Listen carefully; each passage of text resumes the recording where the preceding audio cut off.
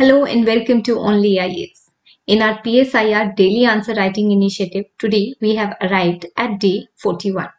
Let us see which segment of syllabus we will be dealing today. In your 2A, we have this segment which talks about changing international political order, rise of superpowers, strategic and ideological bipolarity, arms race, Cold War and nuclear threat. So this forms a very major important part of your syllabus and there are recurring questions from this year and year again.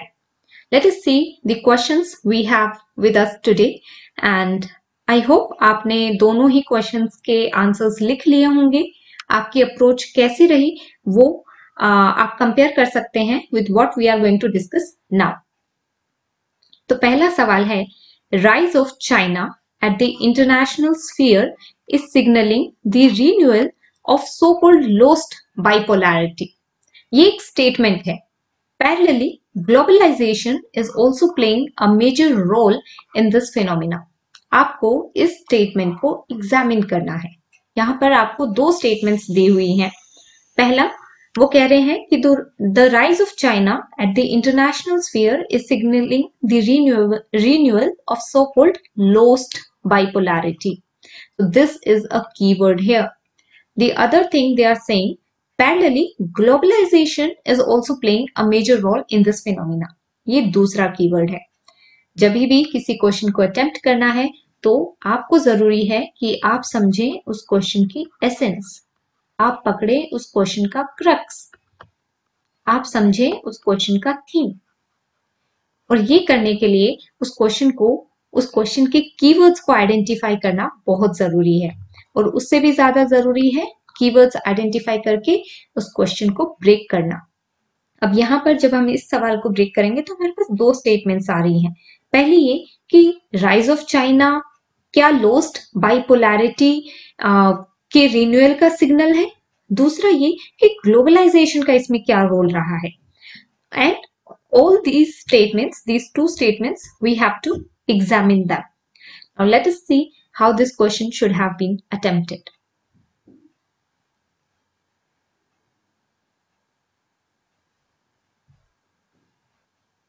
तो जब हम इस सवाल को देख रहे हैं तो सबसे बड़ा कीवर्ड उभर कर आ रहा है यहाँ पे बाईपोलारिटी तो जब आप इंट्रोड्यूस कर रहे हैं तो यहाँ पर कंसर्न चाइना का राइज तो है, पर उससे ज़्यादा कंसर्न क्वेश्चन का बाइपोलैरिटी पर है। सबसे ज़्यादा फोकस बाइपोलैरिटी पे है।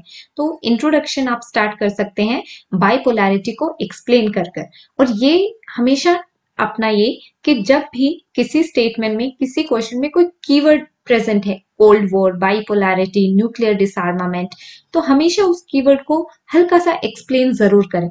अपनी अंडरस्टैंडिंग दिखाएँ कि मैं इस शब्द को अच्छे से समझता हूँ, मैं इसे अंडरस्टैंड करता हूँ। तो इंट्रोडक्शन में आपने बाइपोलैरिटी को समझाना है। यू हैव टू ब्रीफली से briefly show your understanding about this term what does bipolarity mean? Bipoles, which means two poles, a world order जहाँ पर दुनिया दो धड़ों में बटी हुई दिखाई देती है। दो पोल्स में सेपरेटेड दो पोल्स में डिवाइडेड दिखाई देती है। तो ऐसा हमने कब देखा? कोल्ड वॉर के टाइम देखा। जिसे हम कोल्ड वॉर एरा कहते हैं, उस time the whole world was divided into और let's say the half of the world was towards US and the other half USSR. दो पोल्स दो डोमिनेंट सुपर पावर्स साफ़ साफ़ देखी जा सकती थी। और बाकी कंट्रीज़ कहाँ पर थी? बाकी स्टेट्स कहाँ पर थे? उन्हें हम बोल देते हैं कि वो इन दो सुपर पावर्स के आसपास घूमने वाले सैटेलाइट स्टेट्स बन गए। तो दो मेजर पोल्स जब वर्ल्ड ऑर्डर में नज़र आए उस सिचुएशन को हम बाइपोलैरिटी कहते हैं। और एग्ज़ाम्पल के तौर पे आप कोल्ड वॉर एरा को मेंशन कर सकते हैं, जहाँ पे यूएस और यूएसएसआर दो मेजर पोल्स थे। नाउ लेट अस सी कि हम इस आंसर की बॉडी में क्या लिखेंगे मेन बॉडी में हम क्या कंटेंट लिखेंगे। पहले ये समझे कि हमने इंट्रोडक्शन में बाइपोलैरिटी को एक्सप्लेन किया। हम बहुत ही सिस्टमेटिक तरीके से चल रहे हैं अपने आंसर में। हमें एक कीवर्ड नज़र आया क्वेश्चन में उस कीवर्ड को हमने इंट्रोडक्शन में एक्सप्लेन किया। अब जो बाकी थीम था क्वेश्चन का कि चाइना का राइज क्या एक is it signalling towards renewal of bipolarity lost bipolarity तो मेन uh, बॉडी में हम इस एस्पेक्ट को एड्रेस करेंगे।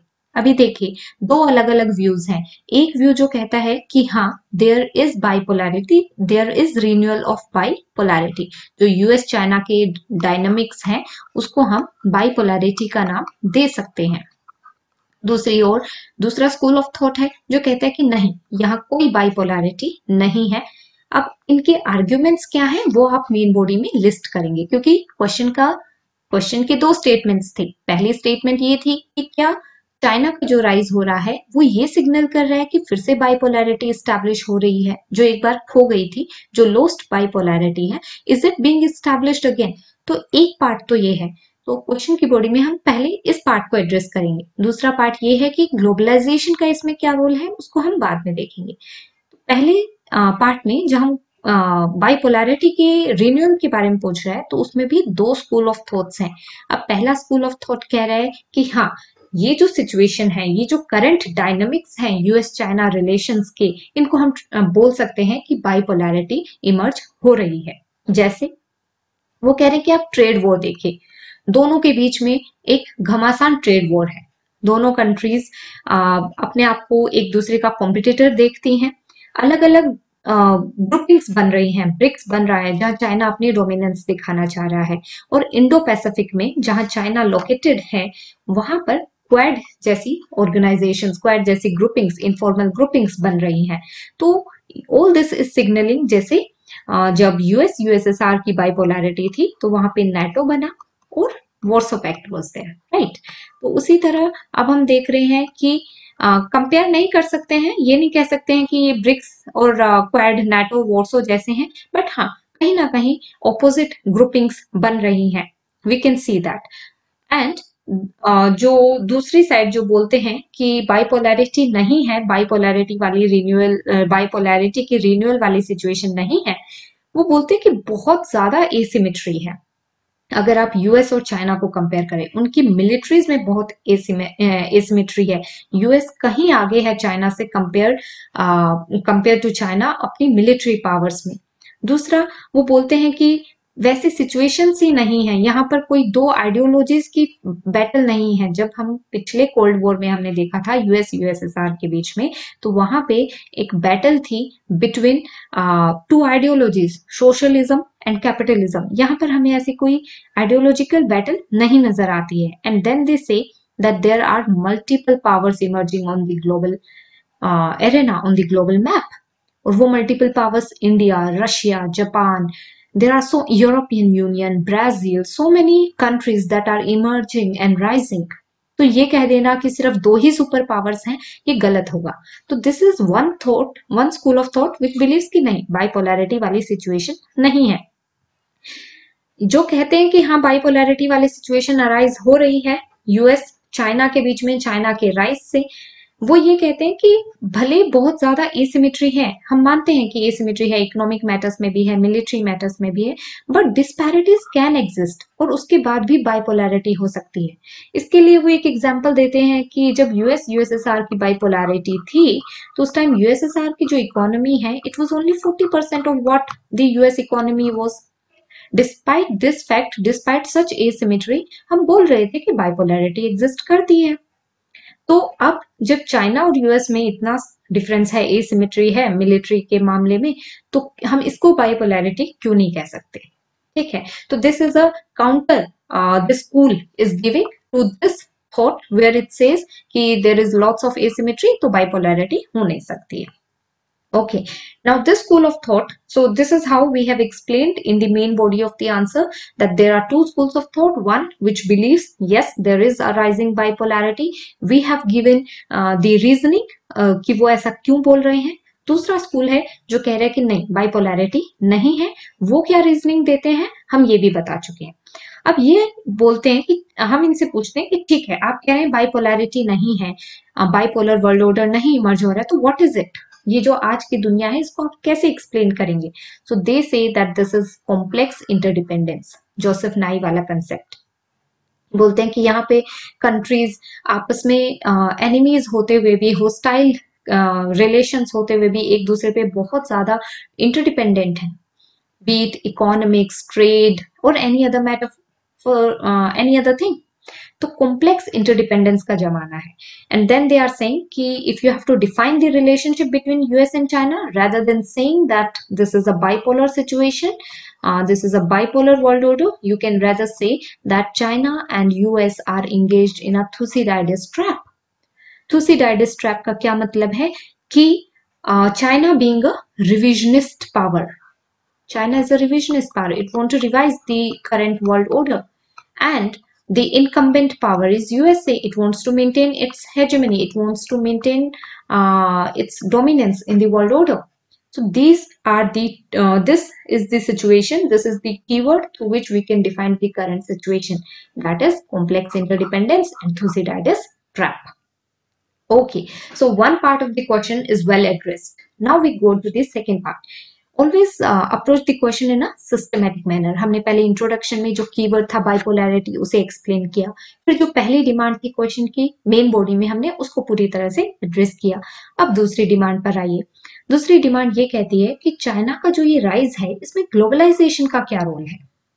तो हम देखते हैं कि ग्लोबलाइजेशन अभी एक रिपोर्ट थी रिसेंट जो ये कह रही थी कि 700 मिलियन लोगों को चाइना ने पॉवर्टी से एलिवेट किया है।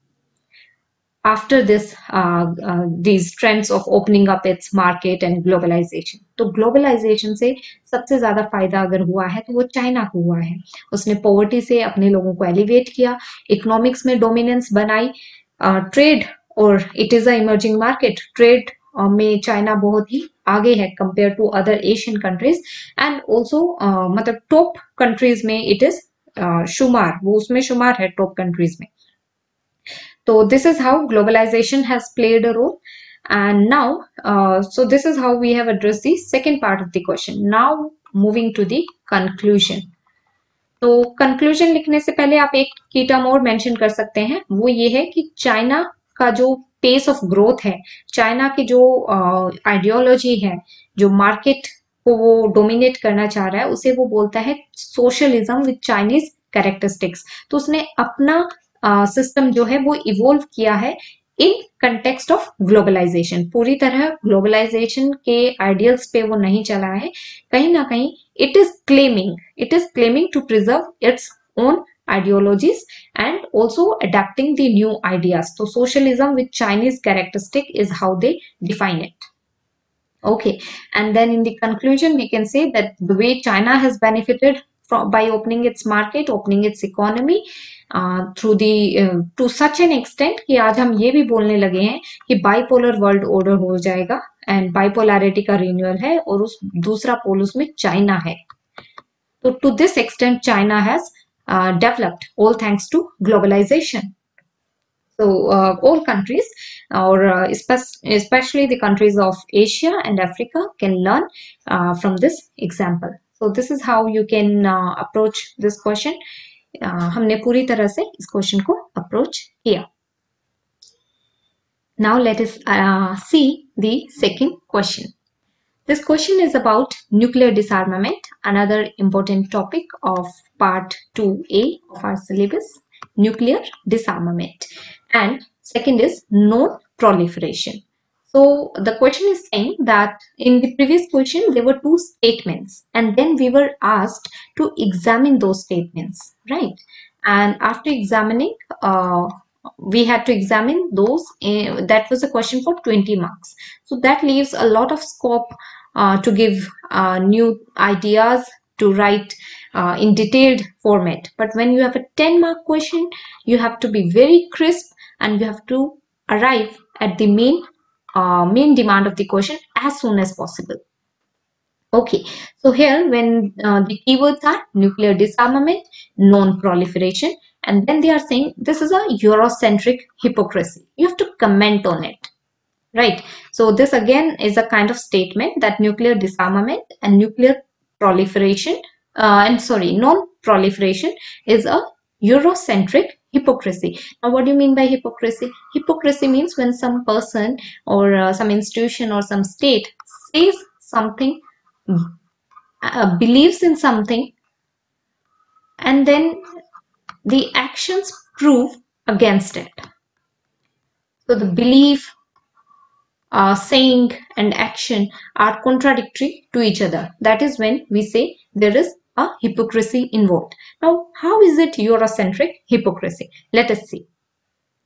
So the question here is directly referring to NPT, that is Non-Proliferation Treaty, Nuclear Non-Proliferation Treaty, a treaty that is aimed at avoiding or let's say uh, uh, reducing the rise of nuclear weapons, reducing the rise of nuclear weapons, right? And so in the intro itself, you can directly arrive at NPT, Non-Proliferation Treaty. You can say it has been 15, 50 years since uh, this treaty uh, was signed. It came into force and the main aim was to prevent proliferation, right? So you can begin with defining NPT, talking about the treaty as such.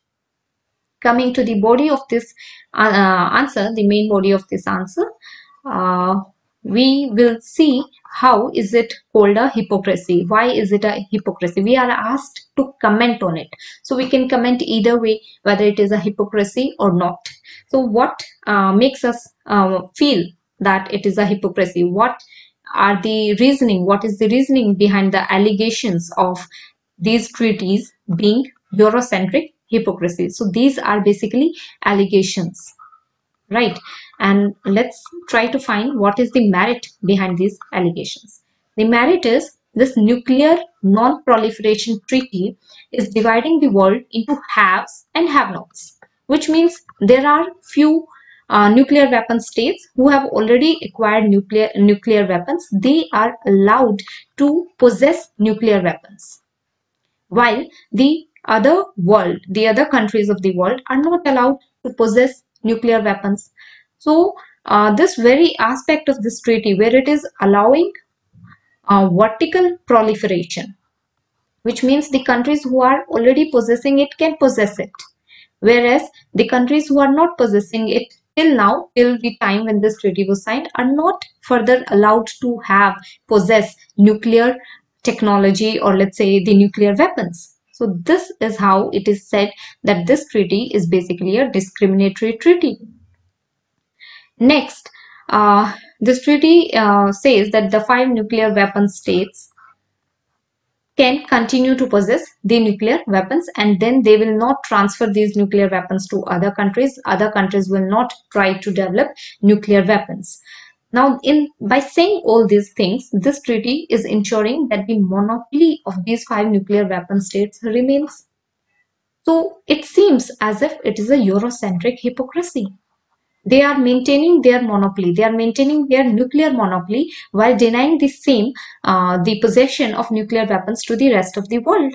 Now, this is also explained by a term which is known as nuclear apartheid it is a kind of apartheid it is a kind of complete discrimination where only few countries of the world are allowed to possess nuclear weapons now what is the reasoning? Uh, Euro, uh, european and the the countries who are possessing the nuclear weapons what reasoning they give? They say that we are responsible countries we are rational countries and that is why we are allowed to uh, we can continue having these nuclear weapons while the other countries are rogue states and they cannot possess nuclear weapons. Now for that matter the history has an example that only once nuclear weapons have been used and that was a very gruesome act and that was done by us which is a so-called responsible power so this question or uh, this argument of rationality and responsibility is again, it proves to be a hypocrisy. Right. And the so-called rogue states have, there is no such example in history where any rogue state has used nuclear weapons till now. Right. Also, the uh, Western world has often uh, intervened has created disturbances or intervention in many countries by alleging that these countries are possessing nuclear weapons. Right. So this is also used as a agenda to intervene in the countries for their ulterior motives by claiming by using the excuse that they are possessing nuclear weapons. So this is another example of hypocrisy. And by doing all this they are establishing neo-imperialism or neo-colonialism. These are the allegations that are laid on Western countries who are possessing the nuclear weapons. The uh, okay and then in defense uh, so this is what you are going to write in the main body we have discussed uh, how it is a hypocrisy now in defense or let's say in conclusion uh, we can say that okay these are some allegations leveled against the NPT the uh, non-proliferation treaty. But then it also takes into account the reality. And the reality is that countries who are already possessing nuclear weapons are very unlikely to give up them to give them up right? So uh, the realities are taken into consideration. And now after uh, the reality is taken into consideration we move towards establishing peace and it is said that in good faith these countries are possessing nuclear weapons and they won't use it against anyone. And they will transfer the nuclear technology for peaceful uses to the other uh, countries of the world also. There will be responsible trade. And uh, this treaty has by far uh, ensured that the nuclear trade is responsible trade also, there is this concept of moral responsibility that these countries who are already possessing nuclear weapons have a moral responsibility with them. And uh, then it is in the favor of global security and nuclear stability that non-proliferation takes place. That uh, the nuclear weapon should not be allowed to proliferate beyond this limit.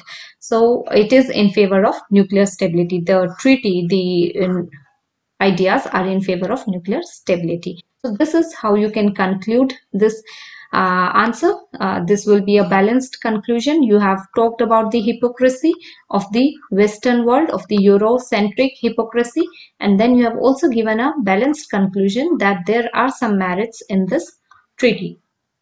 Right. So this is how the questions had to be approached. Now, I would suggest that you go through this approach, you go through this video, and then you uh, match how you have attempted the question. And if some improvisation is needed please do the needful. Also remember that you are studying political science which is the science of masters. So keep preparing for your optional. Keep writing. The more you write the better you prepare for your mains and stay tuned to only IAS thank you